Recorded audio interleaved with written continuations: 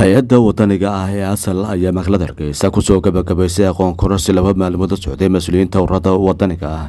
Iyo guddiyada xaafadaha ka jira magaalada hargeysa ee caasimada somalilan aqoon kororsigan ayaa ujeedadiisu ahayd sidii mas'uuliyiinta ka socda ururada kala duwan iyo guddiyada xaafadaha loogu tababari lahaa sidii ay ogaan lahayn dhibaatooyinka qayaxan oo wax laga qaban karo islamarkaana loogu diyaarin lahaa xalinta dhibaatooyinka bulshada ka dhex jira kadibna ay ugala kaashan lahayn cidda ay khusayso. Hadal kooban oo horeen halkaasi ka soo jeedisay marwa farax mawliid madaxa xuquuqda aadamaha iyo maamulaaga ee hay'adda wadaniga ee asal ah.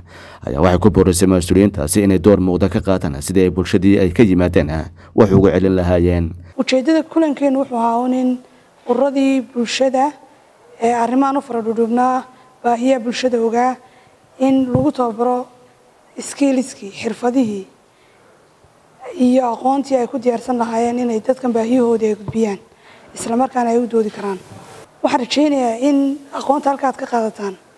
Inaanay noqon doonin aqoon marka halkan ka baxdaan. Aan madaxiina iyo maskaxdiina ka bixin. Laakiin waxaan rajaynaya inaad bulshadii aad matalayseen inaad kula noqon doontaan. Ood weelayn doontaan insha allah midho fiican inay dhali doonto.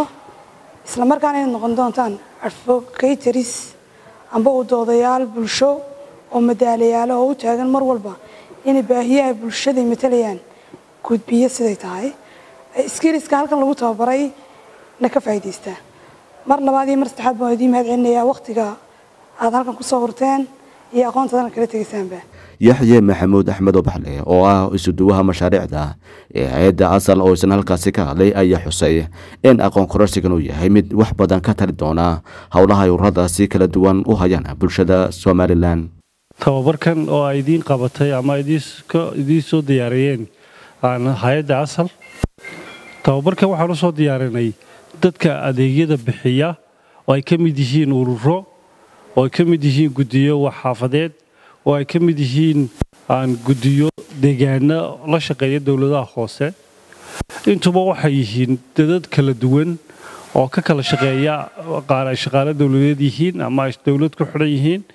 Qaarna ay iskood madax bannaan yihiin oo organisation iska diiwaangashan u yahay. Qaarna guddi xaafadeed ay yihiin intaasoo noocba waxay u shaqeeyaan bulsho baahan oo ugu baahan badan u baahan in hadalkoodii ama codkoodii meel sare la geeyo. Labadan cisho waxaan ku dhiganaynay sidee baahiyaha loo soo bilaabaa oo loo soo ogaadaa oo xog dhawa loo helaa? Sideeba xalkeediina aynu ugu soo diyaarinaa innagaa uga gacmo dhuudhuuban innagaa uga aqoon badan cid kasta dhibaatadayna haysata sidii aynu uga bixi lahayn qodobka saddexaad ee aynu uga baahan nahay waxa weeyaan inay naga caawiyaan. Ama aqoon ahaan ama lacag ahaan ama sumcad ahaanba yaa inaga caawinaya dhibaatadii aan soo sheegnay iyo xalkii aan haynay inay nala fuliyaan. Marka qof wuxuu noo noqon doonaa magac oo isagaa ina qaadi doona qofna waxaan u tegi doonaa ama dowlad ha noqoto ama hay'ad ha noqotee haddaba maanta waxaan ka bilaabaynaa sidii aynu objectifyo cadcad ama ujeedooyin cadcad oo wax laga qaban karo oo dadka soo jiidan karaa sidii aynu baran lahayn sidii aynu dadka maalgelin ugu dooni lahayn sidii aynu mashaariicdaa u fulin lahayn maalinta maalinaan lahayn ilaahay ciddii gaadhaysa ilaahayba og. Inteenni gaadhaa inaynu isaga nimaadno muddo markii shaqadaas socoto bal wixii inoo fulay iyo wixii inoo qabsoomay. Waa ku mahadsantihiin ilaa shalay toole. Waxtarkii aa ku lahaydeen ama aqoontii aa nala wadaagayseen anaguna sidoo kale dee ma nihiin aan aan master mindedgii maalgelinaya asal laakiinse inaanu sumcad ahaan ama tay ahaan ama qalab ahaan xafiiska waxaan ugu ballan qaadaynaa inay haddii ay u baahdaan inaynu dokumentiyo talooyin kaloo dheeraada sii siino aan aan idiin soo diyaarin doono bal xogtii haddii ay u baahan tihiin connectionno inaynu cid kale isku xidhno eriyooyinka ha doorataan ee bulshadeenu xaafadaheenanu ka wiiqan yihiin inaynu ka qayb qaadanno waxaan ugu mahadnaqayaa dhammaantiin. Waxaan leeyahay ilahayna ha inagu anfaco ha inaga dhigo kuwii maanta shirkada isugu yimi ka faa'iida oo maalintan maalinteeda. Markaynu isu nimaadnay inagoo le shirkii maalintii ay qabanay waxbaan ka faa'iidnay ama waxay noo qabsoomay. Intaynan joogta maaha in kaloo laga yaabo inaanay maanta inala joogin ama ururo kaloo inala joogin oo ama xaafadaha ama deegaanka joogaana.